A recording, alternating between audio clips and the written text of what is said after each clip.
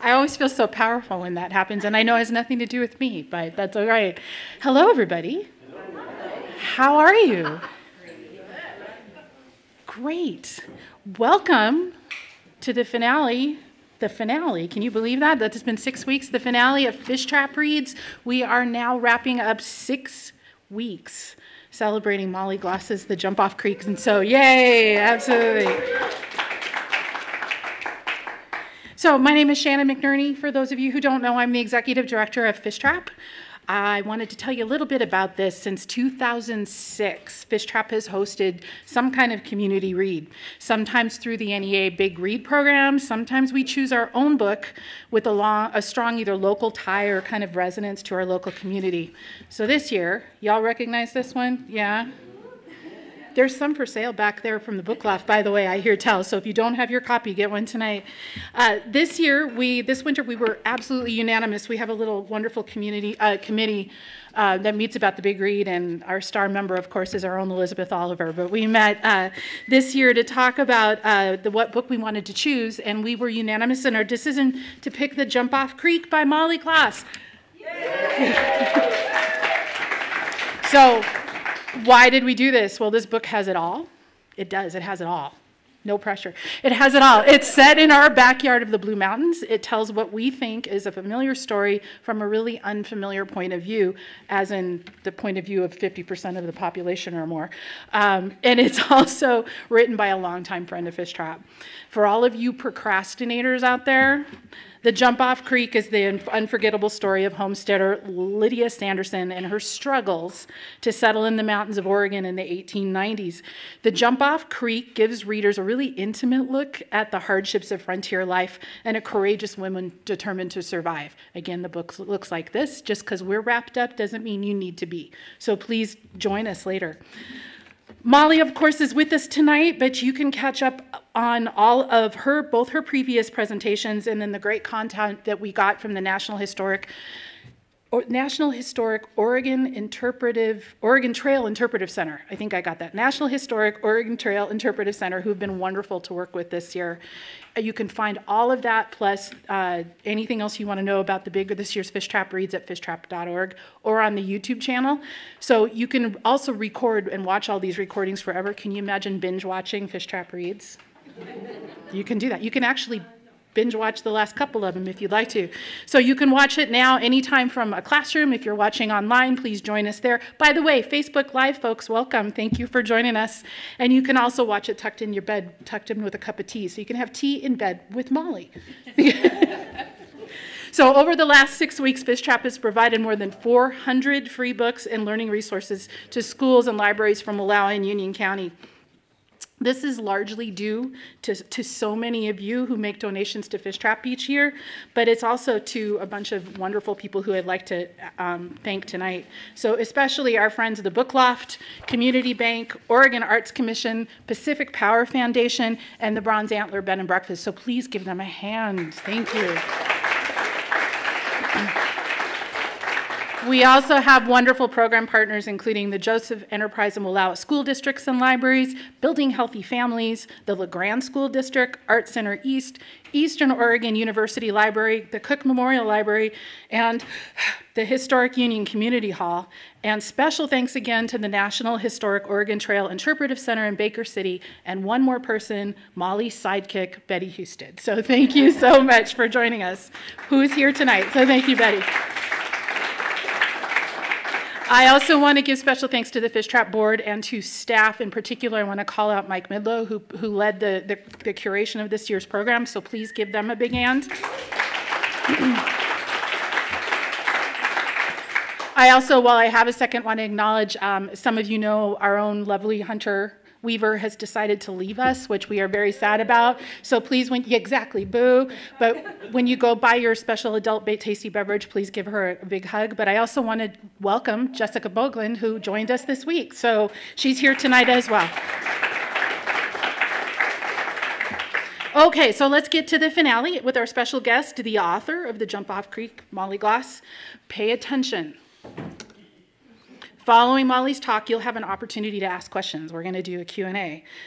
Those usually, we talked about this before. Questions start with who, what, why, where, when, and how. And they usually end with an upslope.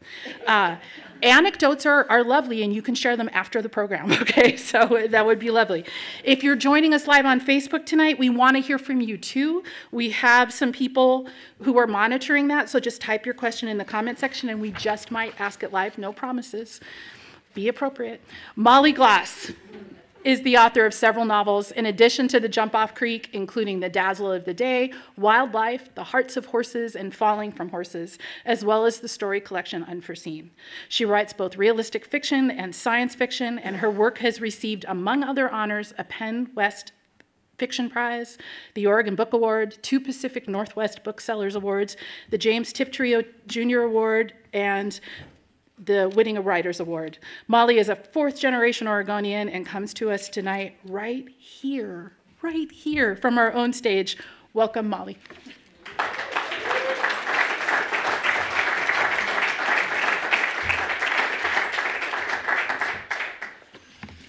Wow. The lights. Surprise. yeah, I can't see any of you. Uh, maybe that's good. I don't know. Um, what I can see are two really bright lights in my eyes. Um, thanks for inviting me. Um, thanks for choosing the Jump Off Creek. You know, um, that book's been in print continuously since 1989, and I'm continually astonished that new readers are finding it after all this time. I'm just astonished. Um, I have talked about um, I've given two talks already, and in both of them, I've suggested different things to do with the writing of that novel. And tonight, so I'm going to um, try to find something new to talk about, um, and then we can engage in a conversation afterward with Q and A. So this is Women's History Month. I guess you all know that, right? And so I thought I would start off this talk um, by talking about a little collection of essays called Writing a Woman's Life.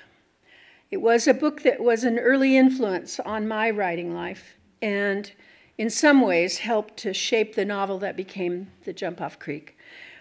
Carolyn Heilbrun was the author.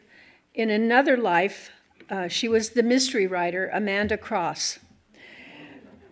But she was also an academic. And in this book, this was an academic book, she was laying out a thesis about women's biographies, how to write a biography of a woman, and how to read one. And she was also, I think, exploring a complex metaphor about the way women live their lives, the way we write our lives, um, our own lives, in a sense, by writing an original script, or more often by following the script we've been handed by social conventions. Her book, among other things, looks at some celebrated women who didn't follow the traditional expectations for a woman's life, who managed to free themselves to pursue the life they'd chosen rather than the life scripted for them by their society or by their times. George Sand uh, for example, dressing as a man was one of her subjects. George Eliot living openly with a married man. Virginia Woolf marrying a man of distinctly lower social and intellectual rank. And it occurred to me, not when I first read Heilbrun's book, but later, that she might have also meant or included a woman like Lydia Sanderson, going, to, going west to homestead on her own, and all the women, the real women homesteaders, upon whom I'd modeled Lydia's life. I spoke early this month about these women, the private writings, the diaries and journals and memoirs of the Westering women who were a model for Lydia, and the fact that the stories of these women's lives had mostly not been the subject of novels. In one chapter of Heilbrun's book, she spoke about the gaps in literature subjects that are seldom written about in fiction, and how most of those gaps are centered on women. Friendship between women, for instance, or the complexity of a happy marriage, or the expectation or the experiences, pardon me, of women who don't make a man the center of their life, or what it feels like for a woman living into old age. And she wrote about women's proneness for dreaming happy endings. If he notices me, if I marry him, if I get into my dream college, if I get this manuscript accepted, as if with just this final thing settled, the way will be swept clear for happiness. But endings, she wrote, are for romances or for daydreams, not for life. And she spoke about the importance of telling the truth, of writing a true story, even or perhaps especially if it's fiction. I know that consciously or unconsciously, when I set out to write The Jump Off Creek, I was writing to close one of those gaps she spoke of, a gap in Western fiction. I wanted to write the book I hadn't been able to find on the library shelves, a Western novel that centered a woman. And I wanted to write a true story, even if it was fiction. So, what I'm going to talk about tonight are some of the novels that have been an influence on my writing life, my writing about the West, Western novels by women as well as men, novels that were trying to tell a truer story about the West. The Jump Off Creek has often been described as a women's Western, but there is, you know, a parallel men's story in that novel, Tim and Blue's story, which intersects with Lydia's story at actually only a few places. The men's story and the woman's story define each other, it seems to me, in ways that wouldn't have been possible if I'd stuck to only one. So let me talk about first the books that influenced the men's half of the story. This is, a, this is something I've talked about often, so maybe some of you have heard me say this before that I was around 12 years old when I fell in love with the books my dad was reading the cowboy novels of Zane Grey and Max Brand and Luke Short. I had a child's view of the world then, and the adventure, the clean violence, the simple morality of my dad's cowboy heroes suited me just fine. Jack Schaefer's Shane, in particular, about a gunslinger hero with a dark past, I read and reread in my adolescence. A dangerous hero trying to redeem himself and forego violence, but trapped by circumstance to strap on his guns once more and save the homesteaders from the evil cattle baron, and then sacrifice himself to loneliness. Simple adventure, unambiguous heroism. It was a few years later, after I'd reached a more complicated understanding of the world, that I first stumbled on a novel by Frank O'Rourke called The Diamond Hitch. Not shelved with Max Brand and his cohorts, but residing, as I thought of it, on the real shelves with the real books. I was still smitten by Shane. For many years, he was my model for what a Western hero should be. But I read, when I read The Diamond Hitch two or three times in my teens, and I understood even then that it was more authentic in feeling, in landscape, in the depth of its perceptions, more accurate in its details, and in the complexity of the lives of its characters than the traditional Western fiction I'd grown up loving. It was my first encounter with a writer nudging the mythology of the cowboy hero away from Shane's blood and bravery toward a darker, more complex truth. When Dewey Jones steps off the train in Holbrook, Arizona, in that novel, he's flat broke after a summer following the rodeo circuit. He lands work as a cook and a horsebreaker for a winter roundup. And, and this first long part of the novel follows Dewey and the rest of the Roundup crew through days and weeks of hard, hot, exhausting, dusty, dangerous work. There is very little of what could be called adventure. There is a great deal of detail about Dewey's work as a cook and as a horsebreaker and how he manages to find time for his horse breaking in between baking bread and stewing beans and lard in a Dutch oven. There are two Apaches working the roundup, though none of the other men remark on this in any particular way. There is no gunplay. Dewey has a gun in his bedroll, but he never brings it out. He doesn't even mention why he has it. And when he returns to the rodeo that summer after the roundup, it's to a nervous, bright, seductive world with its own dangers. His dreams of big wins perennially wrecked by late nights and too much bootleg liquor.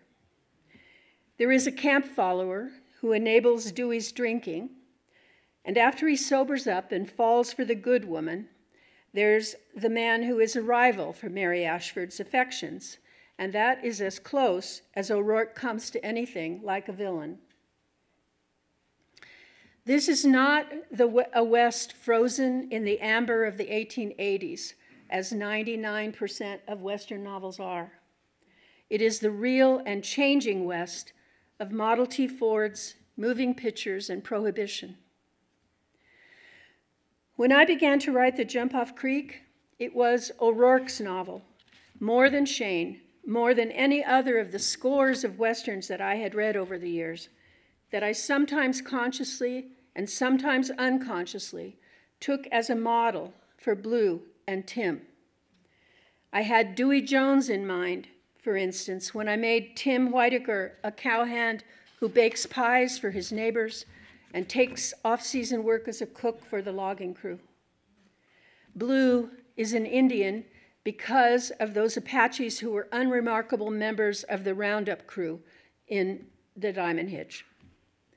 In this and in many other small details of Western life and work as I've written of it, I know that I owe a debt to the Diamond Hitch. I've spent my writing life trying to reimagine the cowboy hero, trying to steer clear, as O'Rourke did, of gunslingers and savages. But Shane cast his shadow over the Jump Off Creek too, in the slow aggravation of conflict between Tim and the Wolfers and the fated working out of that story, that male story. In the traditional Western novel, violence is the easy and only answer to every problem, no matter how complex. It's an answer without pain, without honest pain or consequences. It seems to me that the shadow of that violence the shadow of the cowboy hero, has darkened our American politics, our national identity, our values and beliefs. This is something I've spoken about often, and I spoke about it to this Fishtrap audience earlier this month. But I feel strongly that storytelling can not only help us witness ourselves as we are in the world, but also think in new ways, fresh ways about who we might become. So when the men's story in the Jump Off Creek spirals into violence, it is not the cowboy hero's easy answer to conflict. Death is its painful consequence. When I've been asked to say what my novel is about, I have said often that it's a working out of the different ways men and women experienced the American West. Women's experience of home and community, accommodating to the landscape, women's notions about the heroism of ordinary lives, set against what is mostly a male mythology of violence and conflict. So now I want to talk about the women's stories, novels that showed me how to rewrite Western women's lives. Novels that counted the cost of being a hero. Novels now forgotten, but in the er early years of the Western, the Western, were doing their best to shape a truer mythology of the West. They lost out to Max Brand and Luke Short, Louis L'Amour. In the 1980s, when I was at the beginning of my writing life, the feminist critics were beginning to speak about forgotten women writers, those gaps Heilbrun spoke of.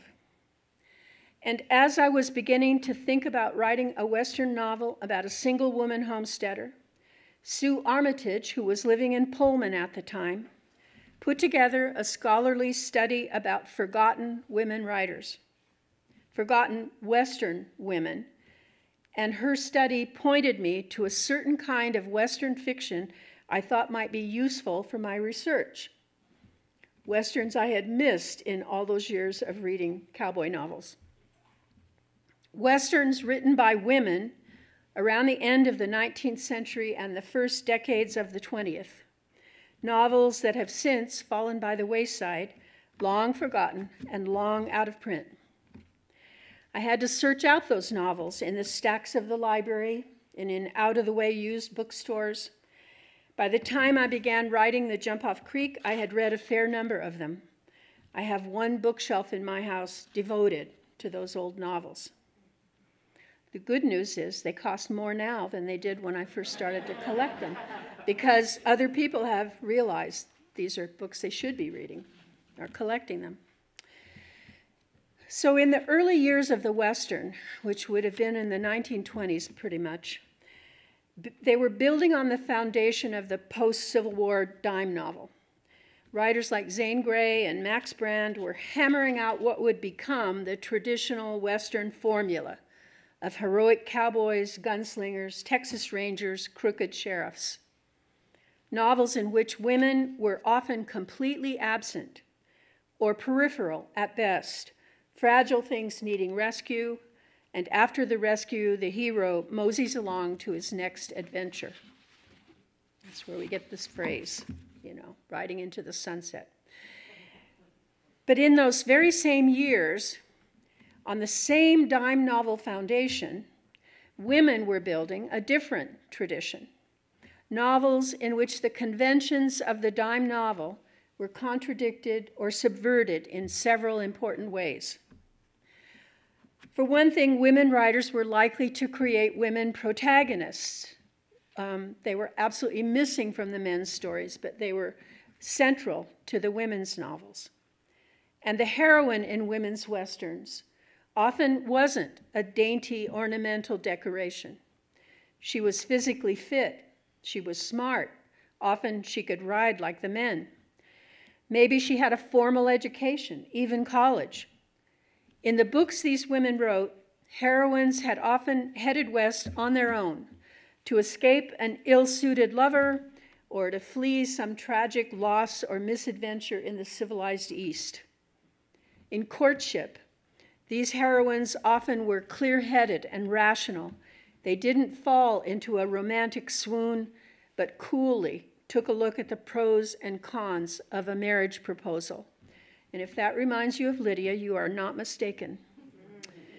And their heroes were often lonesome, not looking to ride off into the sunset, but looking for love, for companionship. They were often flawed, vulnerable in some way, needing the woman's advice or needing a woman's moral compass to conquer their own weaknesses. These heroines moved the plot along rather than taking the usual Western woman's role as a love object or a victim or a helpmate to a man. In fact, frequently, women protagonists were doing a man's job.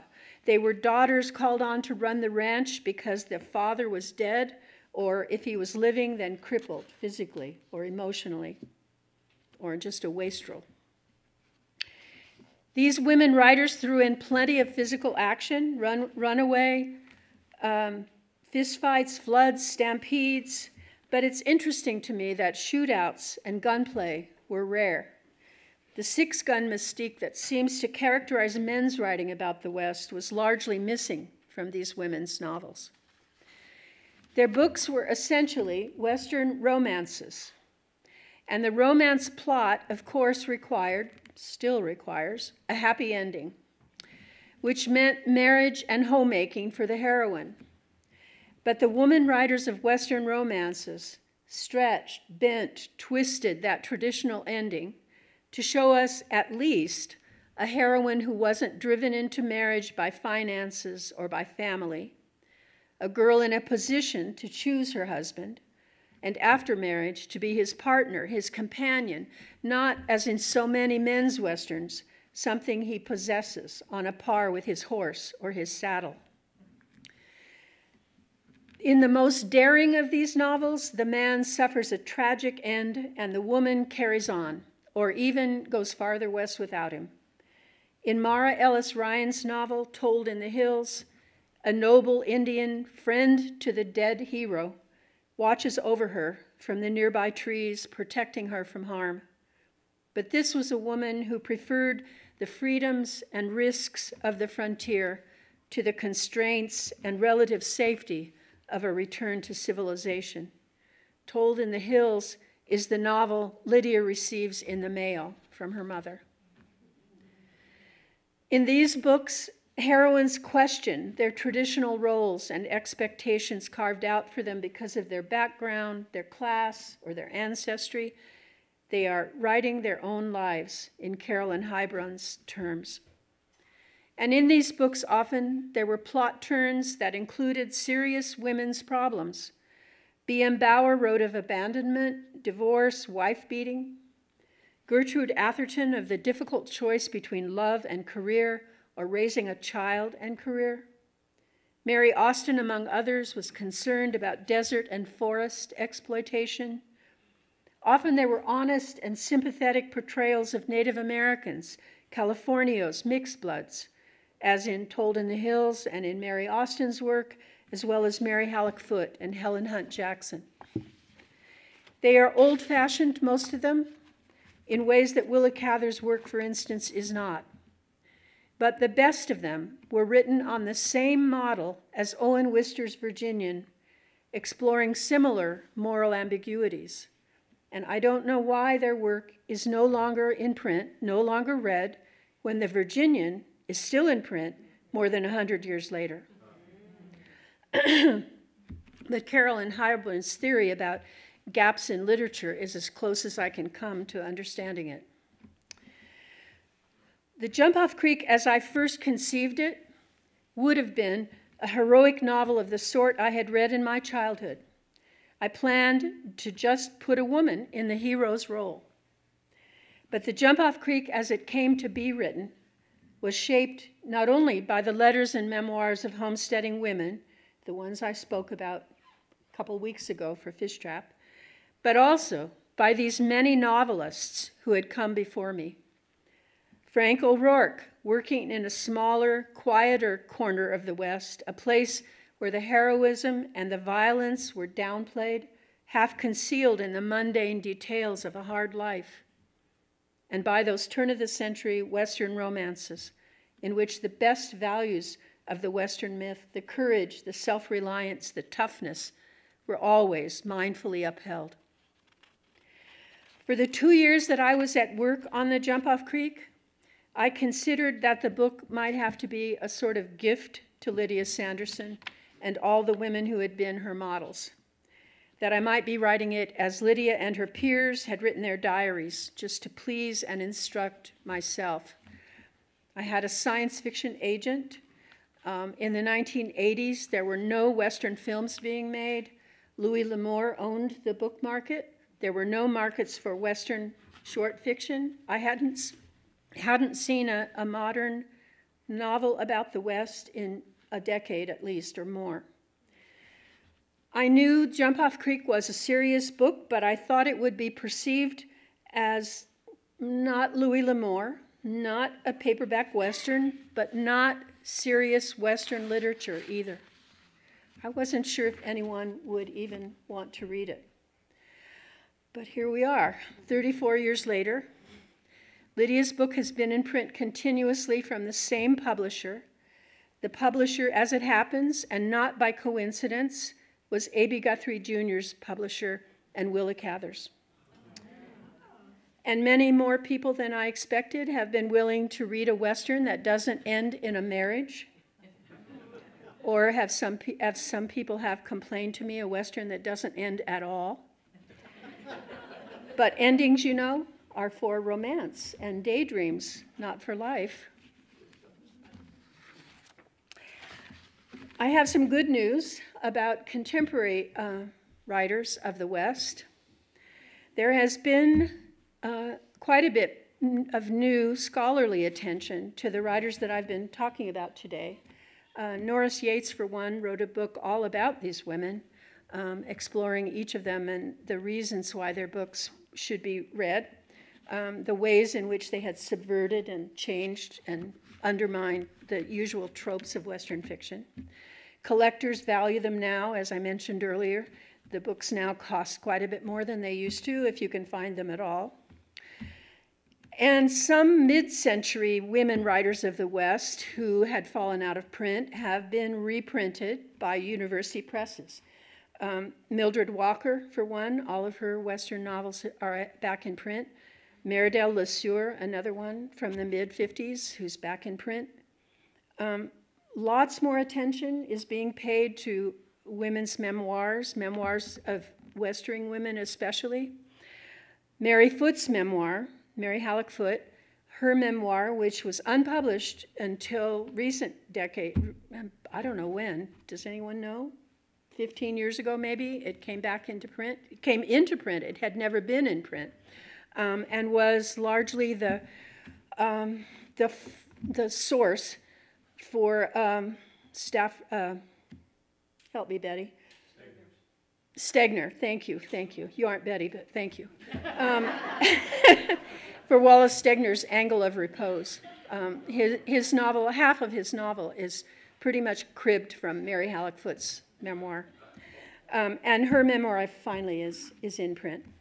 Um, Marah Ellis Ryan's novel, Told in the Hills, is still not reprinted, but since the Jump Off Creek, lots, there have been lots more new, serious novels written by women about women in the West, by both men and women, actually. I love Kent Haruf's work, Eventide and Plainsong, which are contemporary novels about, about uh, eastern Colorado. Um, Jeannette Walls, her novel Half Broke Horses, which was based, I think, on her grandmother. Jane Kirkpatrick, of course, you all know her work. Um, Karen Fisher, I reviewed her book. It's called A Sudden Country. Um, Mary Clearman Blew and, and Pam Houston and Kim Barnes and Marilynne Robinson, all of them have been publishing novels in recent years. Um, a woman named S.M. Hulse, H U L S E, her novel Black River is about the contemporary West. Rebecca Clarren, uh, her novel Kickdown is about, um, I think it's Colorado. Um, uh, where they're mining the uh, or looking for oil in the shale. Is that right? Am I saying that right? Um, and of course, Betty Husted, All Coyotes' Children. Um, Linda Hogan, her novel Sol- Solar Storms. Um, so I'm encouraged that, you know, when I wrote the jump and published the Jump Off Creek, it was the only, the first novel um, written about women in the West in decades, since, since the 1950s probably. Um, and now it's not standing alone. It's standing with all these other writers coming along who are, who are looking at women in the West. So that's the good news I have to bring to you. Um, and that's all I brought to talk to you about today. So now it's open for you to ask me questions and keep this conversation going.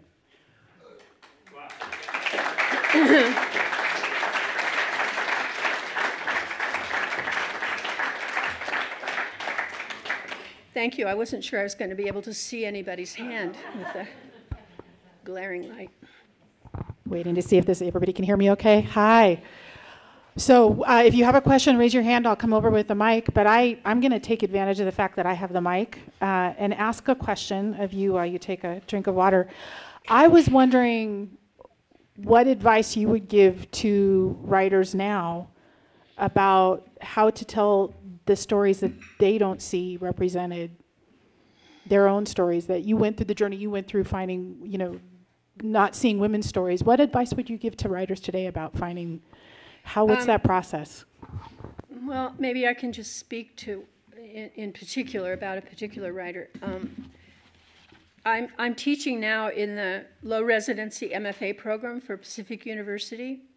So I have, uh, usually, you know, they, they have two residencies a year where it's 10 days of really intense togetherness. But then I work with two or three or four writers over the course of a semester um, through email and, um, you know, they send me work and I send back my, my notes about that work. Um, we have at least five exchanges of material that way over the course of a semester. And I have had a couple of writers in that program who have been writing about the contemporary West or, the, or just the rural parts of, of, uh, of this country. Um, one writer that I'm thinking of now who is writing a, a serious novel um, set in the, she's made up a name for the town, but it's basically Scappoose um, you know, on the lower Columbia River. And um, she's uh, dealing with all kinds of issues to, do to do with um, the, the, you know, the impact, the, the power that is wielded by the logging uh, people and by the shipping companies there, and um, the issues around incarceration. She's got a whole slew of issues that she's dealing with. It's a complicated novel. She's tackling a lot of stuff, and and we had a lot. I had a lot to say about it. She's got a long way to go before this book ever gets to the point of um, submitting for publication. But I'm so encouraged that she's that she's wanting to write that because she, she lives there. She lives on the hills above Scappoose. She wants to write about the things that she knows. It's fiction. It's a novel, but she's got characters in it that are based on her, on her own knowledge and on uh, relatives. Um, and so I tell her this is an important novel. It's important that you get it right. Um, I'm helping her, I hope, to get there. But I'm also warning her, you know, that this is not an easy sell. It's, it's about a rural part of Oregon, uh, a small town, it's, it's dealing with issues that people often don't want to hear about, don't want to confront. And uh, the publishing world right now is rough. It's hard to get published. Um, and I tell them that. But I also tell them this is important, and it's important that you're doing it. And um, the good, the good part of the publishing world, I think, is that lots of smaller presses are stepping up, where the, the big houses in New York are stepping back. Um, they're publish, they want to publish the novel that they know is going to sell a million copies. They don't want to uh, take an author who's only going to sell 5,000 copies. But the smaller presses are more willing, and the university presses are more willing to take a chance on a writer who's uh, writing important work um, and not going to sell a lot, a lot of copies. I do feel uh, for myself, because the two more novels of mine that I feel are pushing against the cowboy mythology.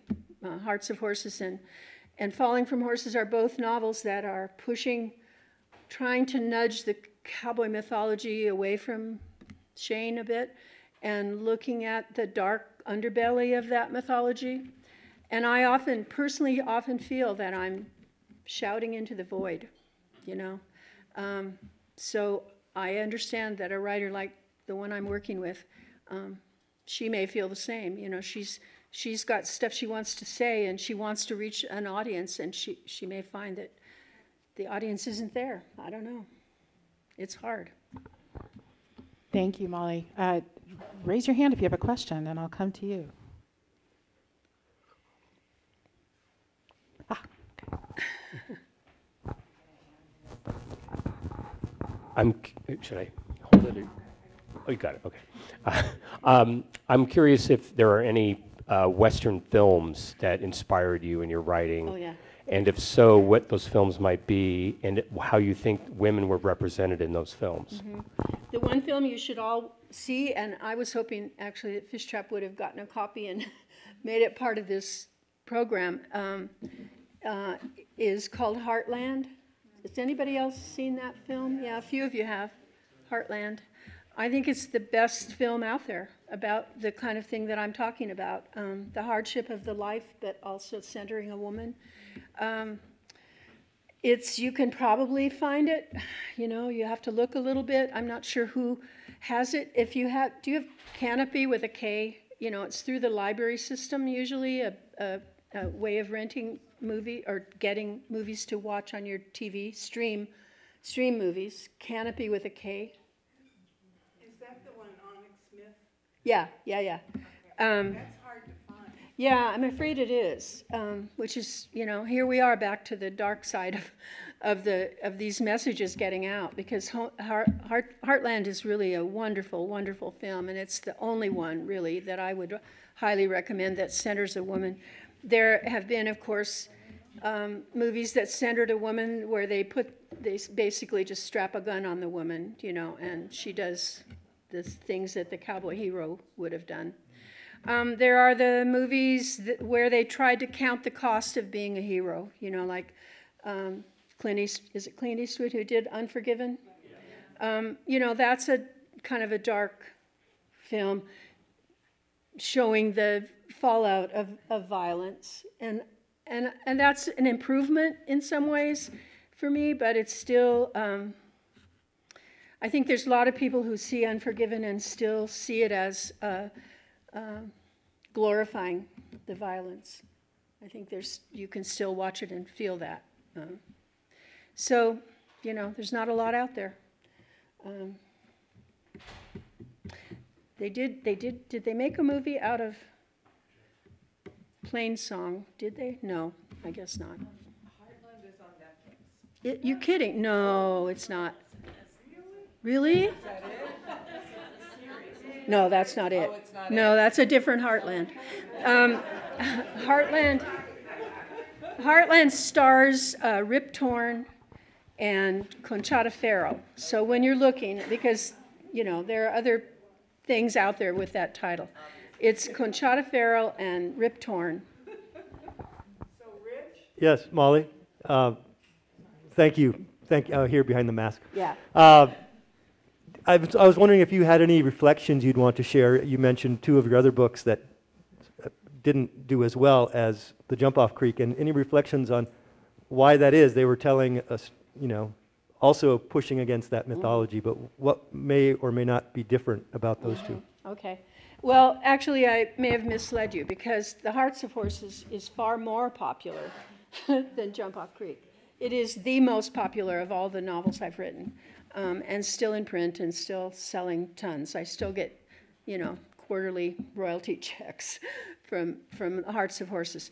What I mean to say about that is that people read it for the story, um, and they don't get it. They don't get what I was trying to say uh, about.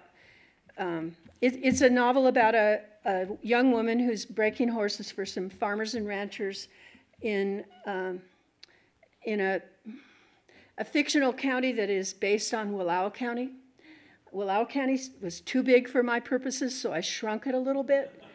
Um, and then I looked at my Oregon map to see where I could put my fictional county, and I pushed some things out of the way to, to make room for Elwha County, and I plopped it down uh, south of Pendleton, north of John Day, uh, west of Baker City, um, east of Prineville, and there it is.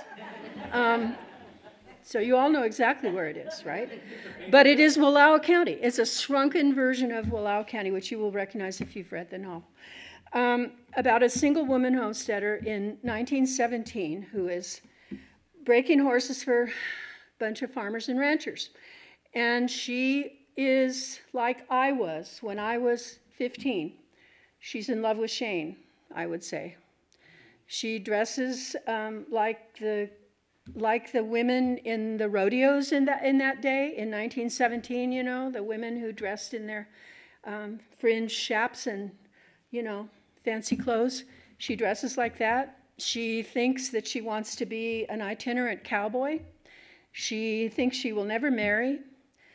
She does not think that Elwha County is the real West. It's because it's too familiar to her. And she thinks the real West must be out there somewhere, maybe Arizona or, you know, the hidden canyons of a Zane Grey novel. Um, and it's only over the course of the novel that she comes to see um, the world a little bit differently, to see, um, to fall in love, for one thing. I finally let one of my girls fall in love and get married. Um, and, and she, um, at the very end of the novel, here's why I know that I'm speaking into the void. Um, because at the very end of that novel, um, I jump way ahead, and it's uh, Martha in her old age, and she's talking to her granddaughter in her old age.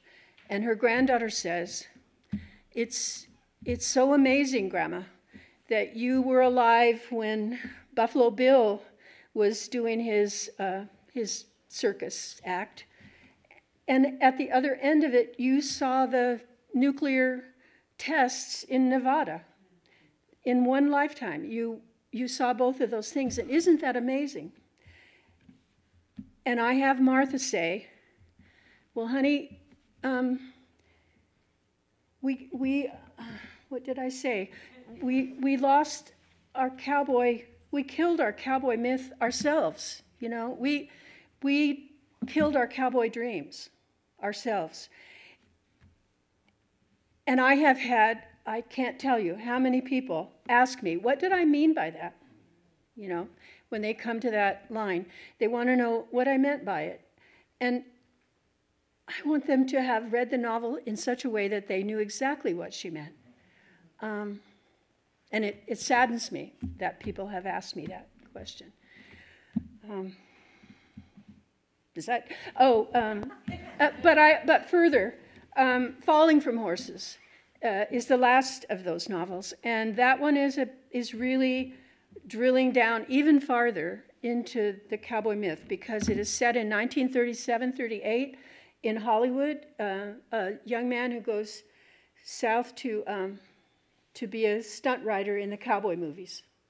And so it's very much about the influence of the cowboy films on our understanding of the West. I think the films, even more than the novels, have had a really deleterious effect on, on the cowboy mythology. And, and that novel, I was really trying to get at that, to, to show the fake, the falseness of the cowboy films, and how um, how awful they were in every way, uh, in the way they treated the men, the, the stunt men, and the way they treated the horses, all the animals, but particularly the horses. Um, and that novel has not sold well at all. Um, I think it's too hard for people to be confronted with that kind of um, reality. Um, we all want, we want to, we're still in love with Shane, and he's the man that our mothers warned us against. um, Anybody else? Yeah. Okay. Uh, Just a quick question, um, uh, the usual one, I guess. Um, What, what are you working on now? Well, I'm not working on a novel. I won't be writing any more novels. I got a big laugh uh, at the library in La Grande yesterday when I said this. I am the same age as old people. um, I, I've written six novels, and they, I'm a very slow writer. I'm, it takes me a long time to write a novel. And it's gotten harder, not easier, with time. And I think that's partly, I, I hope it's because I've been trying to reach for harder things each time. I don't want to repeat myself each novel, so uh, it's taken me longer and longer to finish a novel. Six years would not be un, you know, uncommon. And I don't want to be in my 90s out there schlepping a book into bookstores, you know. I don't. Uh, but more than that, I don't want to be um, slogging to the end of writing a novel in my 90s. And I have two grandchildren. I have, uh, I have a life. I have a busy life, and um, so I'm not writing a novel, and no more novels. So if you want to read Molly Gloss, you have to read one of those books that are already out there. Um, I am writing poetry. I'm in a poetry group with, group with Betty and uh, five other people, and women, and um, I have to keep writing poetry because otherwise my group won't let me keep coming. Um, um, so I am writing poetry. It's not my, I don't think it's my natural gift, but I do think I've written a few poems that are okay, that are good. Um, so, so I still write poetry. I have two short stories that I have s- hopes of someday finishing. Um, they sit in my file, and I work on them every once in a while, and Sometimes I go months not looking at them, and then I pull out the file and look at it, and I think, well, this is really good. I should finish this. and then I close the file and go away again. Uh, but I think I will. I, eventually, I will. I think publish a couple more stories. So, and they are sort of that uh, intersection between the West and science fiction. And I have. Uh, I have a reputation actually in science fiction, in short fiction, so I have no trouble publishing there. If I write a short story that has something weird in it, um, I have editors who are wait, waiting to publish a Molly Gloss weird story. So. Oh, So you were talking about Elwha County that you created. Right. Um, in Jump Off Creek, you have it in a very specific location. Um, you name very specific uh, communities that Right. actually exist. Meacham, yeah. yeah. La um, and La Grande. Um, how, I, I guess I'd like to hear you speak to how specific you were in doing the research for where you were placing it, how much was just sort of arising in your imagination, um, that sort of thing. Well, um, the, the very beginning origin of the Jump Off Creek was, um, was out of La Grande, up on Mount Emily, out of La Grande. Our family, we were, we did a lot of hiking and camping back then when I had a husband and a little, and a son. And we were camping at Emigrant Springs State Park, um, one of our favorite places, actually. And we were hiking in the in the blues, and you know that country over there is pretty ridgy. You know, we went down into a ravine, um, and at the bottom of the ravine, which I, if I remember right, was probably on Meacham Creek, and and down at the bottom of the ravine along the creek bank was a, a, a little cabin that was composting into the ground. You know, just dying, and and I looked at that cabin and I went, what the hell were they thinking? you know, um, that, and I knew even then, you know, that in those, in those days, um, you know, pretty much virtually every 160 acre parcel in the American West was was occupied and had a house on it. You know, uh, these were these homesteaders who were misled into thinking they could make a living somehow. But down in this canyon, you know, um, how did they imagine that they were ever going to make a living down there? And that was the beginning. That was the beginning for me of thinking about who could have thought that and who could have been down there and anyway that was the beginning of, of lydia. And and so i put her in roughly in that area because it was where i had gotten the idea in the first place. And it was a, a landscape that i was familiar with because we had hiked there so often and camped there. And so what i did then was similar to what i did but on a smaller scale to what i did with hearts of horses. I looked at at the map and saw Meacham and La Grande and Summerville and you know, and just um, put um, Tim and Blue and and Lydia in an area that you know where I don't know, um, where there's nobody that I know of that lived lived there, but I put them there. Um, so around, in the same way with with the Hearts of Horses, everything around my fictional characters is real, is a real place, and is oriented to them the way it would be if my people really lived there.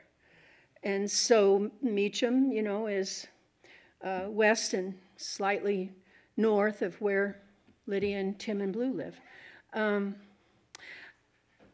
and as with Hearts of Horses, I, I do that sort of thing, create a fictional place, in part because, you know, I know a lot of people in Wallowa County, actually, and I don't want any of you to come up to me and say, you know,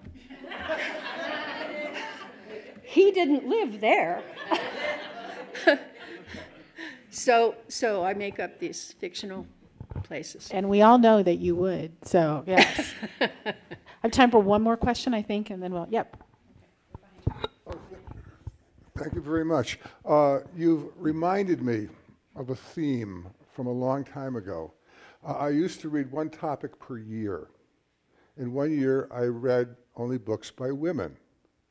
And um, when you talked about the, uh, um, Owen Wister's uh, The The Virginian, Virginian. she didn't want the adventure to end by getting married. She was very reluctant to accept him. And I think about all the books that I read by women during that year. They were all nonfiction, and they wanted the adventure. They were on this great adventure, and they weren't willing, didn't want to have it suddenly end by marriage, house, responsibilities. Anne LaBastille wrote Woodswoman, uh, Robyn Davidson. There was, they, we were on a great adventure, and so uh, I, I forgot that part of why I read them.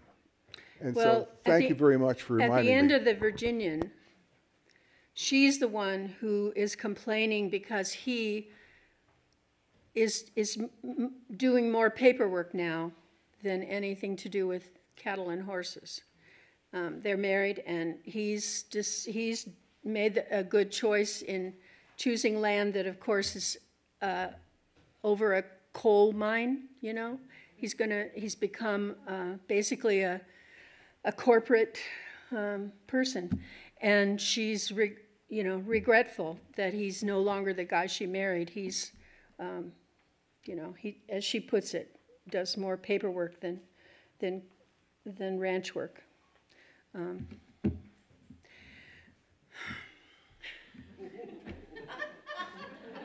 but you know, the Virginian, Virginia was a very influential novel, and the traditional cowboy novels diverged after the Virginian because there were a large number of writers who didn't like the ending of the Virginian, that the, that the marriage was the end of his picaresque adventures, you know. They didn't like that. And that's, that's was the beginning in many ways of those writers like Max Brand, Luke Short, Zane Grey, whose, whose heroes ride off without the woman at the end. They don't, they don't marry because marriage is the end of their adventures. And, but on the other half of that, there was another group of writers who read the Virginian who saw some of the complexity there. And so a writer, a writer like A.B. Guthrie Jr., for instance, took off from the Virginian in a different direction that was more complex, more mature, um, looking at some of the dark side of, of the West, of, of what happened in the West. Um, so it really was a dividing point, the Virginian was. Are you wanting to call it up? Yeah. Thank you.